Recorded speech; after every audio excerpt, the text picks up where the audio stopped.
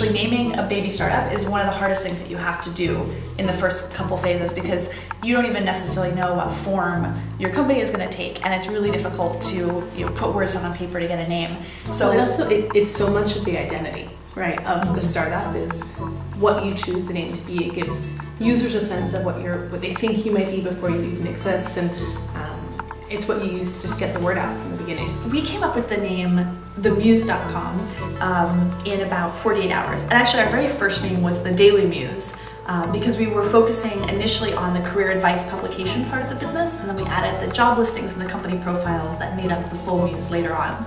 So um, this was summer of 2011. I had uh, just started thinking about starting this new company with two co-founders uh, and a number of other people who had helped with my previous company. And we literally put everyone on a Google group called The Inspired um, and exchanged 114 emails in 48 hours before settling on the name thedailymuse.com. We, gosh, spent, uh, spent a long time trying to figure out the logo. Um, we wanted it to be professional enough personal enough, inspirational enough, um, and just kind of have the right vibe to it. So um, very early on we decided we want to go with a typography-based, um, kind of text-based logo versus any sort of drawing or image. So we've had two taglines uh, since the launch of the Muse. The first in our very early days was work inspired, and the second is what do you want to do with your life? With its corollary and how do you get there. Um, the taglines are something we put a lot of thought into because it's a, a, real chance for you as a brand to put a stake in the ground about who you are and what you stand for in a way that you can't always do in your name. And particularly since we decided not to have uh, the word career or job search in the name The Muse, we wanted to put that in the tagline. When we were originally coming up with the name for the Muse, there were a few different things that we thought about. Um, one of them is career confidant. We went back and forth over whether the word career should be in the site's name at all. We were afraid it would scare people off because it would sound a little dry, a little boring. People don't necessarily think that they want to think about their career unless you present it to them in the right way. And we wanted to do that with a dose of inspiration, hence the name The Muse. Um, but we did toy around with career confidant. We thought about a tagline that kind of uh, talked about work smart, live smart.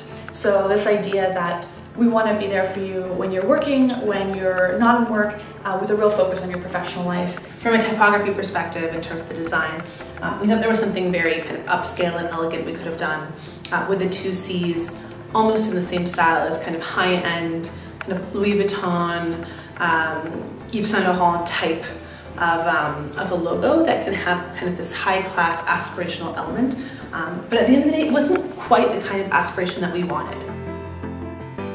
The second one that we looked at was Onwards and Upwards. And we liked it because it conveyed this idea of a journey that you're on, you're kind of going towards a destination. When we were brainstorming this one, when we thought about taglines, we went with your path to the top to um, really communicate that we were thinking about helping people get where they wanted to go.